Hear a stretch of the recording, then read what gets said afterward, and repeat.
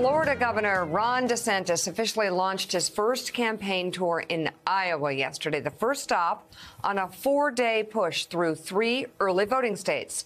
DeSantis criticized elites several times during his speech, and he called on his supporters to move to Washington, D.C. I wish the elites in Washington, D.C. would take a page out of the Iowa playbook, but instead they have ignored what works, and they've continued to plunge this nation into the abyss. Our country is going in the wrong direction. We need to inspire Americans from around the country to maybe pick up your family and move to the nation's capital for two, four, six, or eight years because we need people who live in the country to come out to D.C. to reassert the right of we the people to run our own government. D.C. has imposed its will on us for far too long. It's time we impose our will on Washington, D.C. After the rally, DeSantis delivered his most direct attacks of the former president so far. I'm going to respond to uh, attacks. I mean, if if you say Cuomo did a better job with COVID than Florida did, first of all, that's not what he used to say. This is like new. Like six months ago, he would have never said that, right? He used to say how great Florida was. Hell, his whole family moved to Florida under my governorship. Are you kidding me? Okay. Well, they actually did. Um, I mean, they, they, they actually did. I'm, I'm, I'm wondering. Um, you look at you look at the speech, Jen. Seems you look at the press conference. He actually does look like he may be willing to to go after uh, Donald Trump a little bit here and there. It is fascinating, though, telling people from Iowa you need to move to the District of Columbia. I don't know. That, Maybe not my lead. To do what? Move to the District of Columbia to do what? They're not a right? I mean, they're not. Uh, it's not uh, for better or worse. DC is not governed by the people who live here. Definitely not governed by the people who live here. The um, but the thing with so I think DeSantis. That's strange. The it's strange, right? Yeah, that, that's very strange. But the thing with DeSantis, he's. Uh, I thought yesterday, you know, from what he's trying to accomplish, went well. What I don't really get I'm interested in everyone's view on this, is why Trump is attacking DeSantis as much as he is. Trump is way up in the polls, right? Uh, he has, most polls have him with a 20 digit, 20 point lead over uh, DeSantis. In the states, in the early primary states, not quite as high, but still a lead and he, you, he, should be he should be ignoring DeSantis. He should just be acting like the front runner and ignore DeSantis. And instead, he's been attacking him, and he's been attacking him as a hypocrite, right? Saying, well, DeSantis was for me in 2018 when he ran. He had that ad talking about MAGA, um, and now he's against me. And it reminds me, it's interesting because it reminds me of the attacks that other Republicans made against Trump in 2016 that did not work, right?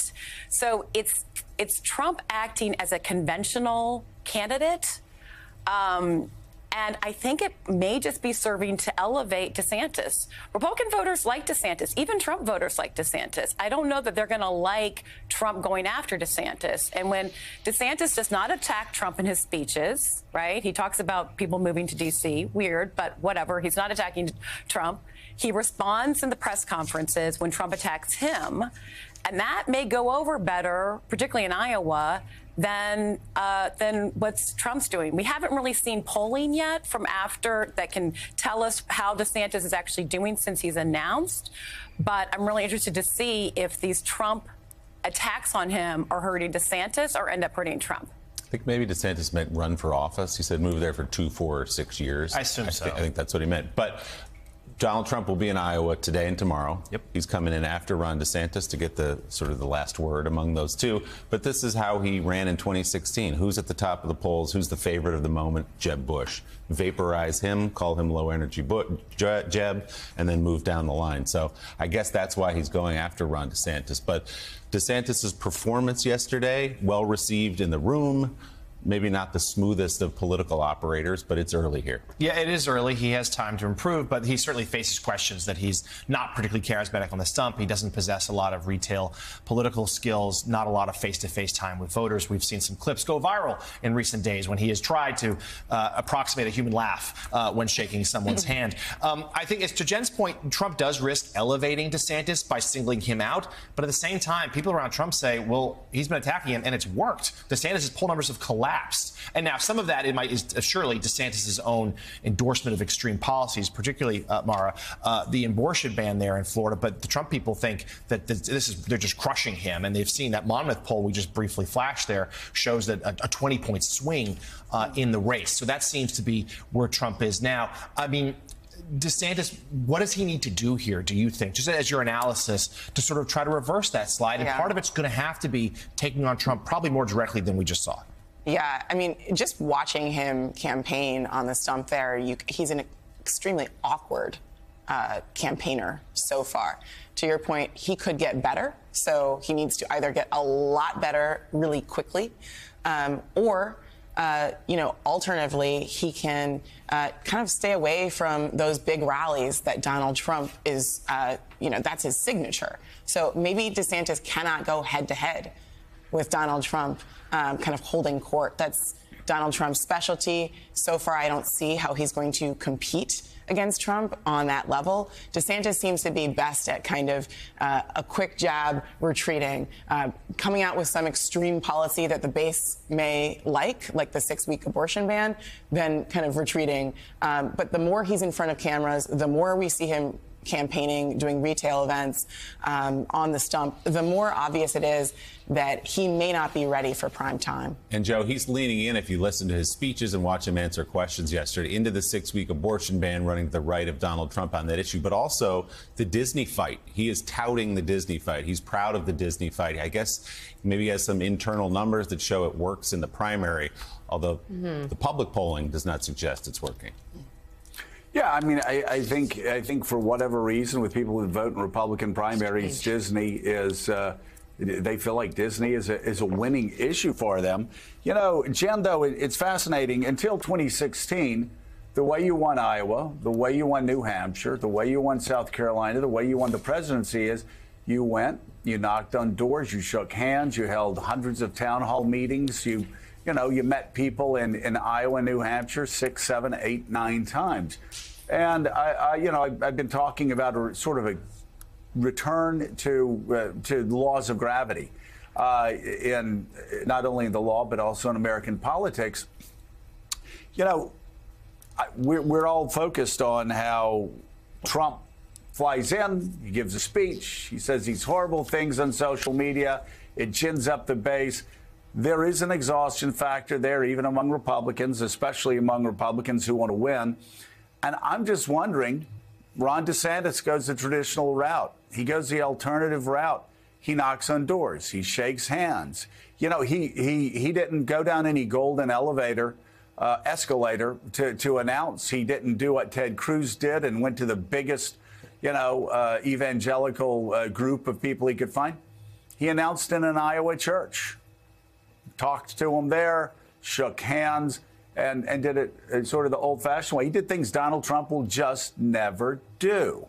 Uh, and so I'm wondering maybe, maybe that's a path forward. We are uh, just getting into June now. He's got six, seven months uh, before to do it. And let me tell you something.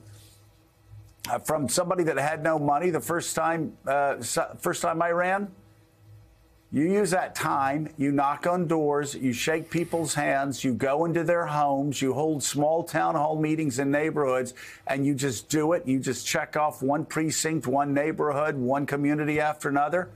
Suddenly, people don't know who you are until one day everybody knows who you are. And in DeSantis' case, I'm just wondering if one yard sign at a time, one handshake at a time, one community center at a time, doesn't add up over six months to actually help him, uh, uh, you know, possibly beat Donald Trump. Um, I'm wondering the same thing, particularly around, particularly in Iowa, which is a state that is a state that doesn't like uh, predetermined outcomes, doesn't like people, doesn't like uh, incumbents.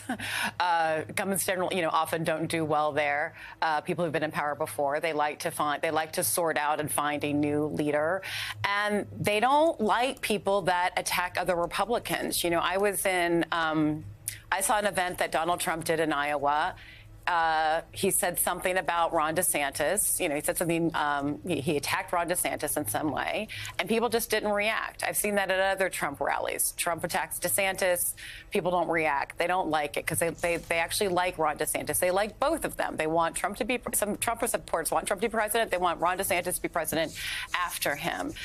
And this is why, you know, I wonder, yeah, DeSantis is, is, is down a lot. But I do, I do wonder about Trump continuing to attack him. I know that that's what they do, and it's it's it's hurt other people. It's hurt other Republican candidates, particularly in 2016. Um, but no one has attacked Trump from the right on social issues the way that Ron DeSantis is doing it. And no one has the record, for better or worse, that Ron DeSantis has on being ultra right, ultra MAGA on social issues. And it may be in Iowa that that can that that can work and you know he presents a nice face on his when he's giving his speech nice face doesn't really attack trump um, makes veiled attacks on him but doesn't go after him directly and that could wear well i mean we got a long time 10 months i think to the at least to the um, or eight months to the to when people actually vote in Iowa. So he could wear well. Um, hmm. How it, how that how that um, goes once you know you move on in the primary, I don't know. Um, how like how uh, DeSantis would do in New Hampshire, for example, where they're not so excited about a six-week yeah. abortion ban. But in Iowa, I could see it. I could see him winning.